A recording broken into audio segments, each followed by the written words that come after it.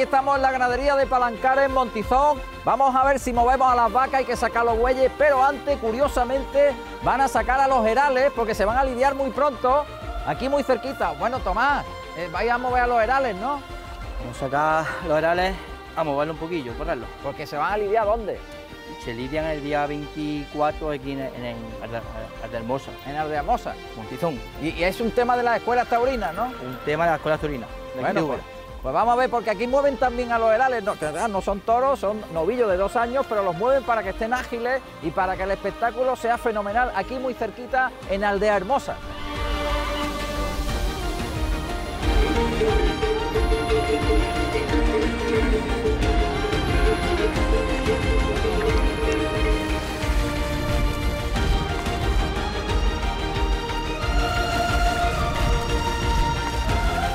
Bueno, estamos viendo a los herales que se van a lidiar aquí muy cerquita, en Aldea Hermosa y también en varios pueblos, pero está, aquí el alcalde pendiente. Alcalde, bueno, que estáis pendiente de los novillos que vais a lidiar, ¿no? Bueno, mira, Enrique, sí, estamos viendo los novillos que se van a lidiar en Aldea Hermosa y Venta de los Santos en una plaza portátil que vamos a poner y van a ser lidiados por la Escuela Taurina de Uda. Y habéis venido para aseguraros que los novillos están en perfectas condiciones, además que lo están moviendo en el campo, ¿no? Lo están preparando, vamos. Exactamente, estamos viendo los novillos y además lo están preparando y muy bien, eh, son los novillos que se van a lidiar allí.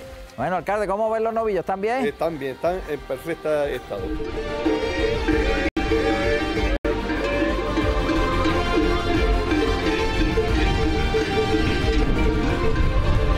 Vamos a sacar los bueyes, pero curiosamente los bueyes están muy hermanados con el lote de vacas. Hay que juntar las vacas que están ahí en la sierra y sacar los bueyes para hacer otra labor importante aquí en la finca. Pero fijaos el ejército de caballos que viene, aquí viene Tomás. Tomás, buenos días. Buenos días. Bueno, trae un ejército, ¿eh? Compañero, bien acompañado. Como no salgan los bueyes con todos los que venís. Hoy salen sí o sí. Hoy salen los bueyes, sí ¿no? Sí. Ya me han dicho que no hay ninguno que se arranque, ¿no? Que eso es lo primero que yo pregunto, no ¿se arranca el buey o no se arranca el buey? No, no, no tenemos ninguno precoz ahora mismo. No, bueno, eso, eso me da tranquilidad.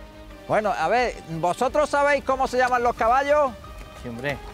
¿Sí? No, porque os reís, porque muchas veces lo inventáis. ¿No? Tomás, ¿cómo se llama este? Bandolero. Hola, bandolero.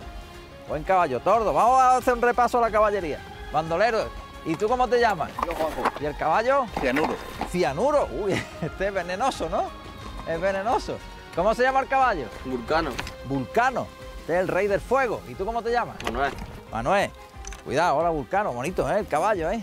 Hola, ¿tú cómo te llamas? Pedro.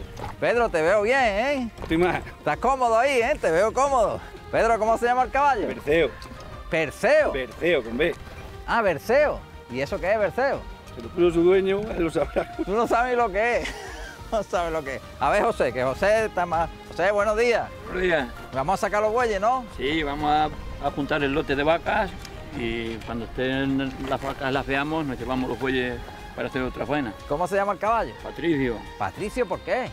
Porque es de la yeguada de Patricio. Ah, romano, Patricio Romano. Bueno, ya sabemos cómo se, cómo se llaman los caballos, muy importante. Ahora vamos a reunir las vacas, no José, que está en la sierra, que es complicado, y a sacar los bueyes, porque después tenemos que sacar unas vacas para curarlas. Para curarlas. Venga, vamos a ver cómo se hace.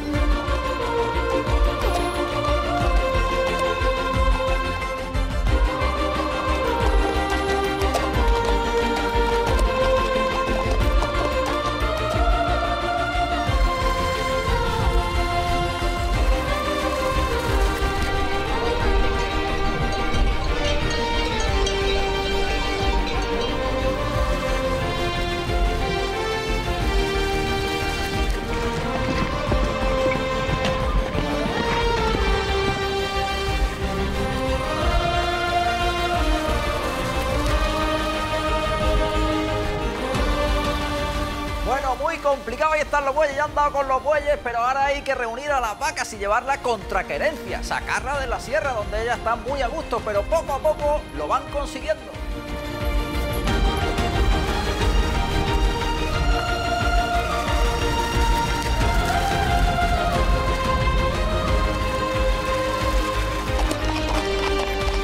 Vamos a bajar ahí abajo a separar los bueyes. ¿Los separáis abajo? Nos separamos abajo. De momento no han dado mucha tarea, Ahora ¿no? mismo no han dado mucha guerra. Bueno, ahí ahora sacáis los bueyes y las vacas se irán para arriba otra vez. Las vacas pues, vuelven a, a lo alto, se suben, tienen la carencia de subirse de lo alto, Tienen la carencia arriba. arriba. ¿Por qué? Donde más costumbre, más de guardar están a ellas y, y demás, suelen estar. Y ten- está el agua también arriba también y están más tranquilas.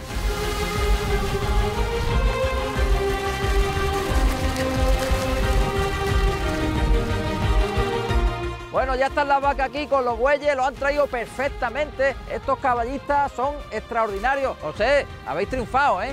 No, normal. Los animales los juntamos aquí, el lote de 20 vacas que tenemos con el toro este nuevo. Y cada vez que vienen aquí, pues le echo un poquillo pienso para que tengan un poco de premio. Ah, o sea que cuando las vacas están aquí abajo, tú le echas. Claro, siempre le Comida. da, siempre le da alguna golosina. Y entonces dicen las vacas, cuando estamos aquí abajo nos dan de comer. Así que cuando la próxima vez tú las quieras traer van a venir. Vienen Ah, es una manera de lidiarla. una manera de torear el toro. Aquí en el campo.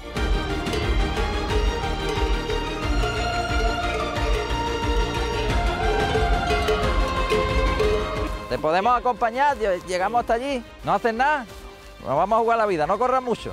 ¿Cómo se llama este? Dandy. Dandy. Mira qué bonito, ¿eh? Dandy. Es muy noble, ¿no? sé. Y, y valiente. Dandy es valiente también, se rima, no como yo.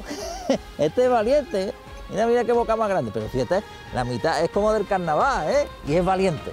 Que eso sí que es raro. Bueno, en el perro no es raro, es raro en las personas. Venga, Dandy, vamos con la vaca.